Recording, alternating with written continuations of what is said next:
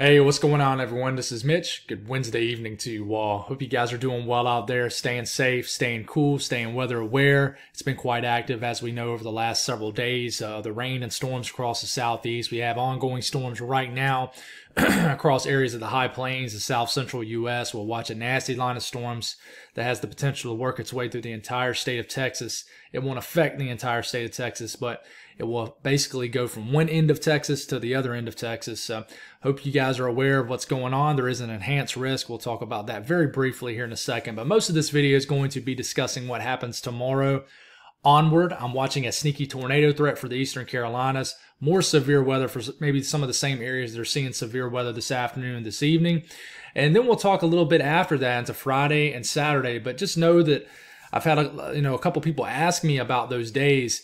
Um, we the details just aren't quite there, so we'll speak on it, but we'll kind of speak in lack of detail. But we'll kind of explain what's driving this uh, in general, as we have a full-fledged trough ejection across the middle of the country, and how this could bring severe weather to parts of the country that typically see at this time of the year. So we'll talk on that. We'll give you an update on the tropics, and then we'll let you get on with the rest of your evening.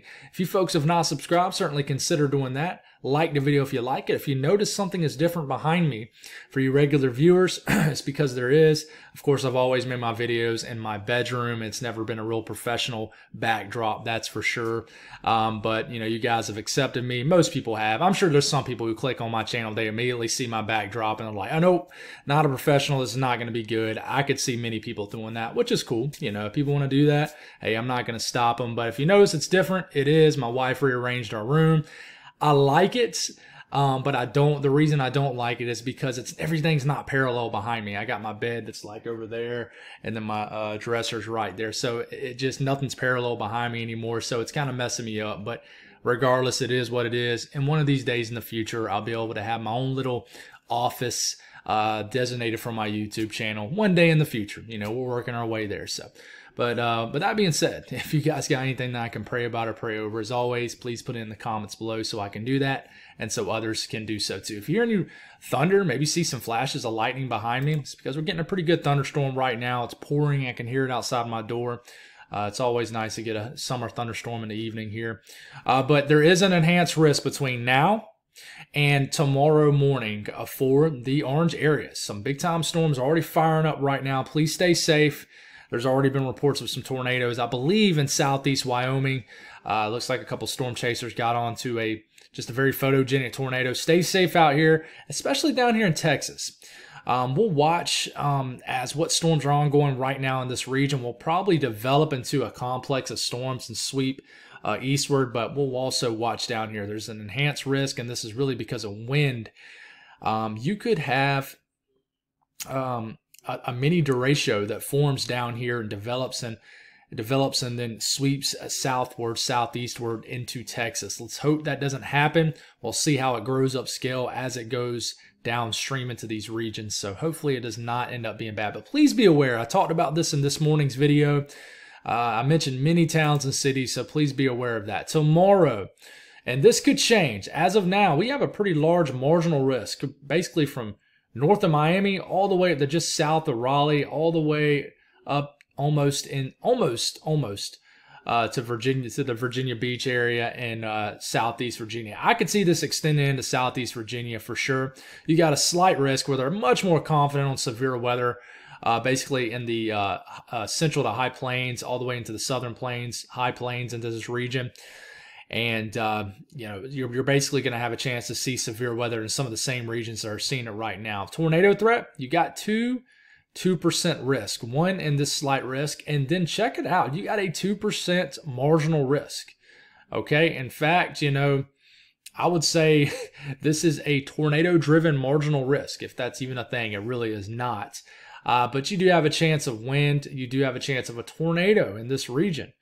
And uh, you know, a lot of people were, were seeing this over the last 24 hours. We were there was some chatter about it here in the Carolinas. Some local storm chasers that are chomping at the bit to go chase something, uh, including me. But I'm definitely not going to probably pull the p- trigger on it tomorrow unless something substantially changes.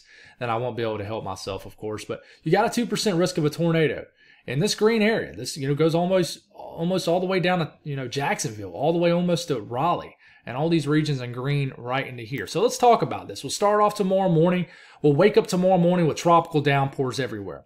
There's a big question on you know, how quick does this convection shower and storm activity move through? Are you already getting a tornado threat materializing? This is around 1, 2 o'clock tomorrow afternoon. You got, you know, just the same kind of look as you got today, but you'll have a different, you'll have a, some more oomph to the atmosphere. You'll have a wind field in the eastern Carolinas. You'll have a flow aloft in the low to mid levels that support some kinematics, which is that wind energy, need, wind energy needed for a damaging wind threat and a low end tornado threat. So, really, any of these storms. Uh, from north of Tallahassee up through Savannah, the low country of South Carolina, maybe all the way to Columbia, South Carolina, Myrtle Beach, Charleston, Wilmington, all across um, the eastern areas of the Carolinas. Really, you do have to watch these just waves of showers and storms that will have some spin to them. I can almost guarantee you, if we don't have one tornado tomorrow, I can tell you these storms in the eastern Carolinas, especially, are going to be spinning. It's just, you know, are we going to actually get any kind of tornadoes or anything like that? But just be aware, you know, what you're seeing here does not look that scary or anything like that, but just be aware that any of these little cells, they'll probably be very low topped supercells, meaning um, if you were to see a tornado, it's going to be very sloppy looking. It's not going to be photogenic. And it honestly will just probably look like a lowering and uh, just some cloud motion. So it's just one of those days, and that's how typical tropical tornadoes are. They're normally very brief, they're very weak normally, and you know like they just don't last long. Um, but just be careful all the way, you know, late morning, all the way to afternoon hours tomorrow evening. You still have numerous showers and storms ongoing, and you really look at the environmental uh, you know, factors on what's going into this. And we'll look at the NAM too. You know, the NAM's kind of the same thing. It likes more of a just a consolidated chunk of convection that kind of blasts through North Carolina and southeast uh, Virginia. And it really doesn't have a whole lot of convection developing after this moves through. But anything that does develop could have a spin to it. You got some storms down here in the low country, some storms up here um, into the sandhills of North Carolina. And then we get later into the overnight hours tomorrow night, and you got to watch these. Watch these cells, okay? But you look at the environmental players going into this, you look at the surface moisture as a thermodynamic. And what I want you to know is we'll start out tomorrow morning, and we'll get all the way to about the prime heating of the day right here you have a bit of a boundary that separates very moist air, tropical dew points here in the 70s, and then humid air, dew points in the 60s, upper 50s, a lot of 60s. So it's humid air, but it's not tropical humidity that you see once you get dew points well into the 70s. So you'll have a moist atmosphere here in southeast Georgia, eastern, the eastern half of South Carolina and North Carolina, all the way up into southeast Virginia, all the way up into the Delmarva regions and southern areas of New Jersey. Very moist air with a bit of an upper trough digging here. There's a surface boundary right in here separating very moist air with just somewhat moist air. So with those higher dew points, what about your CAPE levels? Well, you know, they're not going to be colossal type uh, CAPE levels. Mixed layer CAPE in general reaching just over a thousand joules per kilogram as you get into the afternoon hours. It depends on how scattered about the convection is. But I mean, you got some CAPE values, you know, pushing 1500 joules per kilogram. You could have some higher ones getting to 2000 joules per kilogram if you get the sun to come out at all. It's probably not going to be good news. Uh, but you know, you get over here in the in the western sections of the Carolinas and northern Georgia, there's there's really you know below 100 joules per, joules per kilogram CAPE. Um, definitely a lower severe weather threat. Higher in this region, some brief damaging wind gust and then a low end tornado threat. And you look at the kinematics. Um, on basically the eastern side of this boundary, you're going to have a kinematic wind field, low level wind profiles, low level jet, you know, 30 to 40 knots. So you get any kind of breaks in the clouds, any kind of sun, any kind of instability in this region. I could see this bumping up to a 5% risk tomorrow because you do have a pretty decent wind profile with this. You go from like hardly no winds aloft to a pretty stout flow in the in the low to mid levels that you're seeing in these purple colors.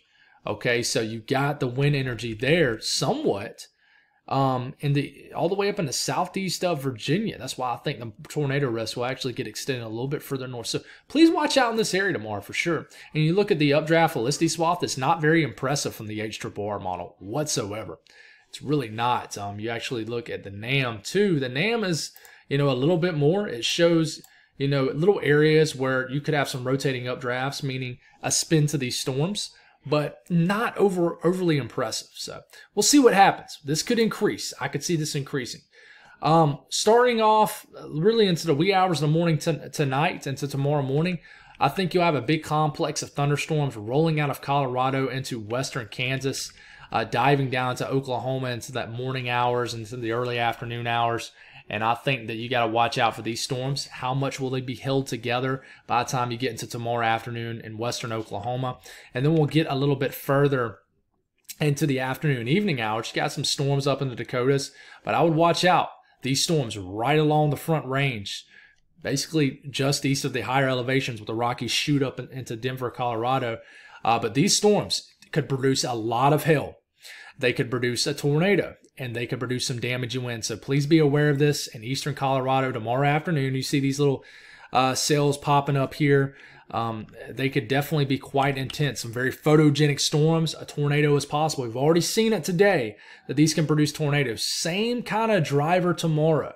Not a whole lot's changing. So, I mean, look at this area of storms continuing to dive down. And if you look at the Storm Prediction Center, it has a general risk of severe storms tomorrow into this region. I can almost guarantee you a marginal risk will get extended further down into northern Texas into here. So go on and expect that as this um, the models are really latching on to the idea of a lot of convection into this region tomorrow. So Friday, there is a severe weather threat. A trough ejection be, a trough ejection begins.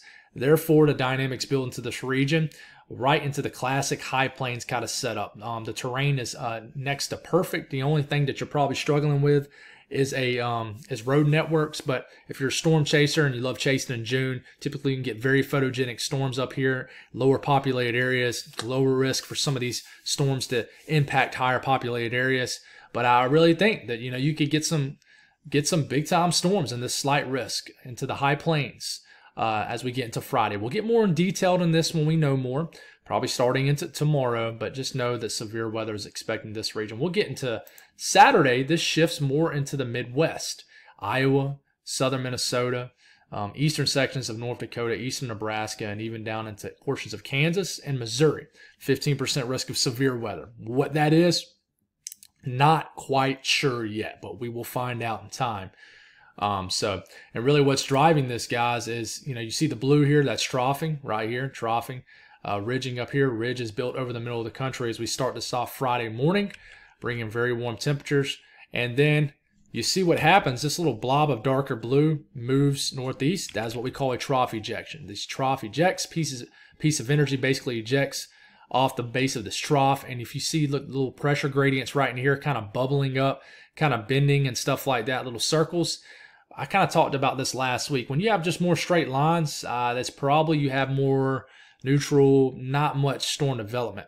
But the more uh, kind of vigorous they look, aggressive they look, where they're bending and wobbling and, and weaving right into here, that tells us that there's probably some weather going on here, and that is going to be the case right into this region. And then again, for Saturday, we'll watch for storms right into this region right here, as the, basically this trough ejection goes from uh, is probably associated with some kind of low pressure and basically goes from southwest to northeast, and then it goes more so from west to east as it flies on top of this ridging right in here and then kind of squeezes in between. And then, you know, we get into Sunday and I could see a severe weather threat somewhere in the, uh, you know, the, probably Illinois, Indiana, maybe the upper Midwest somewhere. I think as we get into Sunday, you will have a risk of strong to severe storms into this region. And this is when you could potentially get rain. In fact, you look at the precipitation in this region, here it is. You see that low pressure, right?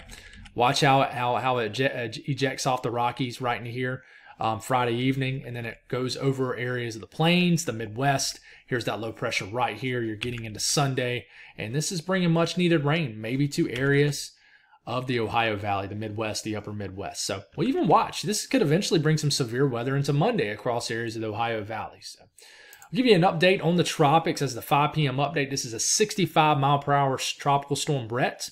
It's doing pretty decent today.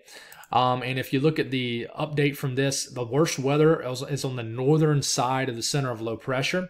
Uh, you got you now have tropical storm warnings up for areas of the Lesser Antilles. Uh, just um, just still tropical storm watches in the yellow, like Barbados, places like that. Um, but this is now it's still expected to maintain tropical storm status as it starts to get a little bit deeper into the central Caribbean. So it did have a D here for tropical depression earlier, but there has been some model guidance that suggests that this may be able to withstand the brutal shear here in the Eastern Caribbean. So that might be new news that develops here in the next 24 hours. But here it is, Tropical Storm Bret, looking pretty darn healthy. It's a it's a it's a it's a mid-grade stronger tropical storm. Remember, it goes 65 mile per hour tropical storm. A 70 mile per hour storm is still a tropical storm. And then the next criteria is it doesn't go up one mile per hour. It goes in five mile per hour um, increments and uh, bump up. So sometimes, of course, it increases 10 to 15, 20, 20 miles per hour from update to update when you have rapid intensification.